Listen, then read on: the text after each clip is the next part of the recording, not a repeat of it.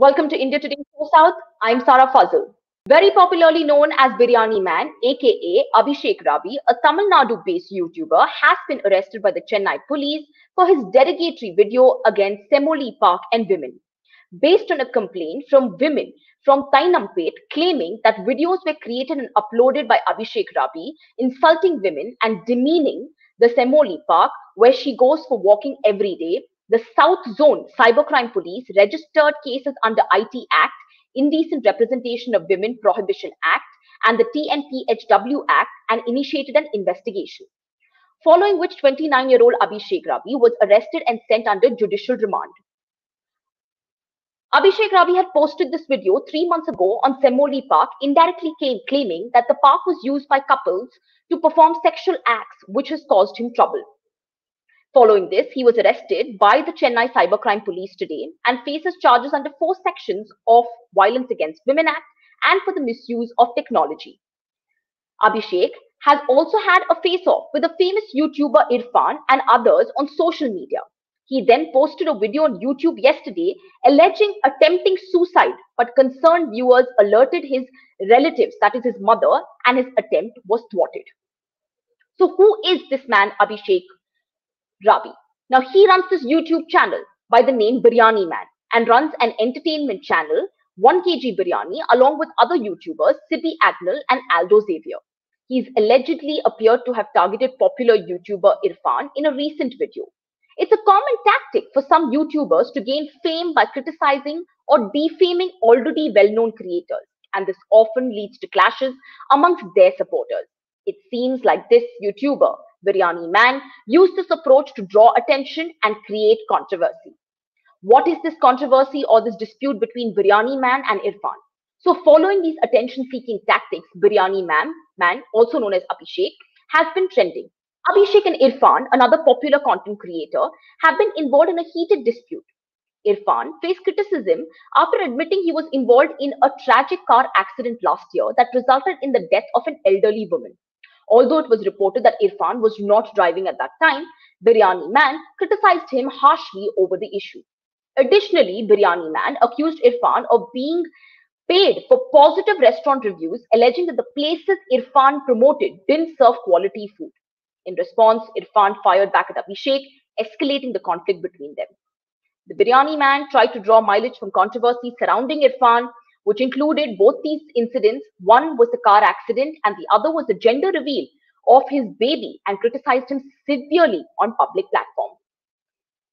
Biryani man is a troublemaker. Is he? That's the question. Similarly, this Tamil YouTuber has found himself posting obscene videos of a YouTuber called Tailor Akka, who posts videos on tailoring. He had posted an obscene video of her sewing blouses. Abhishek seems like a serial offender, given how he has even criticized women through his videos on his YouTube channel, Biryani Man. This video is famously called as Oyo vs. Semmozhi Park, where he's seen speaking obscenely about women. A woman has also filed a complaint against him, and now he stands arrested by the Chennai Cybercrime Police. Why are content creators like Biryani Man, man problematic?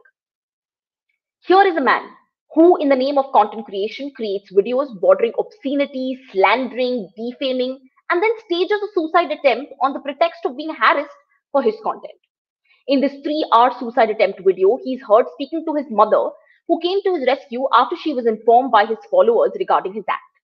He's heard complaining to her about being harassed by one called Jason. While he speaks morally on how incorrect it is for someone to mock him, all that he has been allegedly doing is just that to other YouTubers, creators, and general public.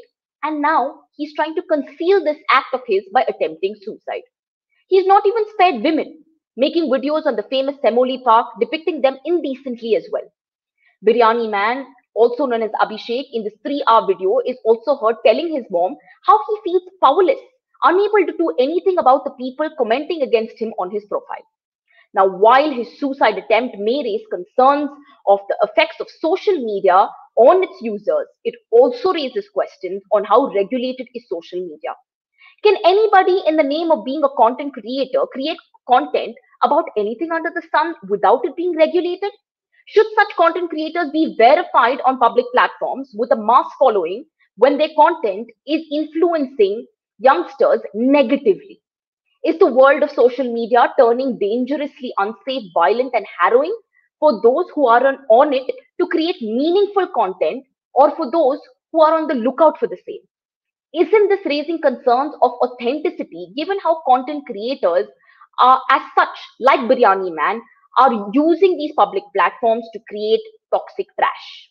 Netizens are even claiming that committing suicide is a mistake and what he tried doing in his live video was something that is punishable and legal action must be taken against Biryani Man. Let me tell you, there are several allegations against this Tamil Nadu based YouTuber Biryani Man. He's been controversial for creating content that includes Hindu phobic remarks, mocking Christians, and criticizing Tamil Nadu Governor R.N. Ravi and the BJP. He's accused popular YouTuber Irfan of associating himself with BJP members for personal gain and also questioned Irfan's visit to the governor, suggesting hypocrisy due to alleged mistreatment of Muslims in BJP ruled states. Now, the question that SoSouth is asking should YouTubers or content creators like the Biryani Man be allowed on public platforms to create unregulated piece of content or create unregulated content in the name of social media creation do let us know by commenting below. Also, don't forget to subscribe to our channel. Thank you so much for watching India Today So South. I'm Sarah Fazil.